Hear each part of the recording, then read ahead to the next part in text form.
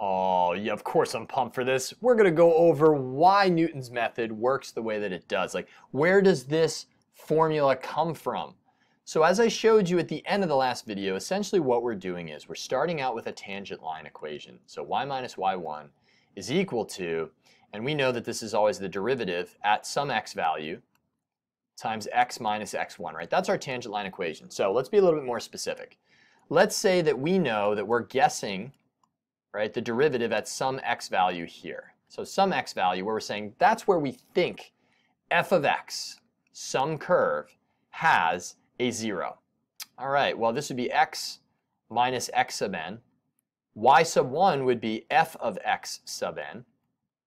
And this would just be your y value. But here's the thing. Think of it this way. Like you've got some curve going like this. And we're making our guess. We're saying this is where we're guessing our 0 is at x sub n, comma f of x sub n. That's where we're guessing. to the curve f of x. We're going to take our tangent line and it's going to go whoop, like that. And that gives us a whole new point, right? So that gives us what we'll call this x value right here. It's often x sub n plus 1.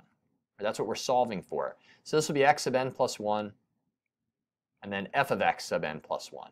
And you'll go through and you'll do the process again. You'll find a tangent line here. And that'll get you a point there. And then you go up to the curve, and then you get closer, and works out pretty nicely. So as long as your curved tangent line isn't 0, or isn't non-differentiable at the point you chose, you'll be in good shape. But so where does this formula come from? Again, we want to know where the tangent line crosses the x-axis. That's where y equals 0. So we're going to plug in 0 and watch the magic unfold. Remember, our goal is to solve for this. It's our approximation of what our 0 will be. We want to have that x value. So that's x sub n plus 1 minus x sub n. Now, I'm going to solve again for this. That's what I want to solve for. So I've got 0 minus f of x sub n, so that's minus f of x sub n.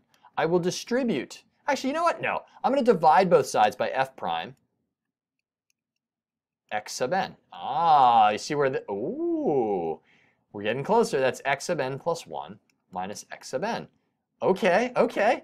Next, we just have to add x sub n to both sides.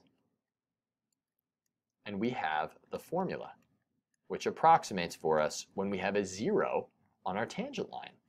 It's such a, a unique and brilliant yet simple idea that ends up looking very difficult. And again, the idea is I'll get a point close to the zero.